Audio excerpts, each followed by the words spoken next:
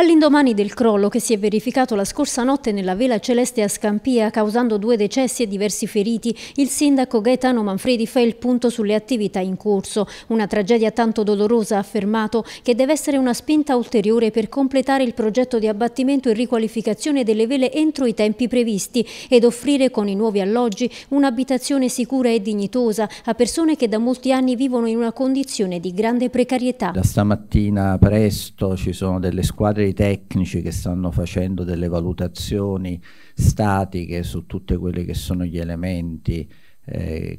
più, che possono essere più critici nell'ambito delle, eh, della vela eh, per valutare quali sono le opportunità per poter avere un rientro a casa di alcuni nuclei familiari. I lavori nella Vela Celeste, partiti a inizio anno con il seminterrato e il piano terra, non hanno alcuna relazione con il cedimento del ballatoio ai piani alti, ha precisato Manfredi. C'è comunque un'indagine in corso e la Procura è al lavoro per valutare le cause del crollo che ha determinato lo sgombero di 800 residenti. In attesa delle verifiche tecniche necessarie ad accertare la sicurezza degli spazi, le famiglie sfollate sono state sistemate temporaneamente nelle palestre delle scuole della zona. Da un lato dobbiamo ovviamente garantire la sicurezza, dall'altro eh, dare una ospitalità a tutte le persone, i nuclei familiari più fragili, eh, i, le, i, disabili che ovviamente sono coinvolti all'interno di questa grande problematica e di questa grande tragedia. Non lasceremo soli gli abitanti di Scampia,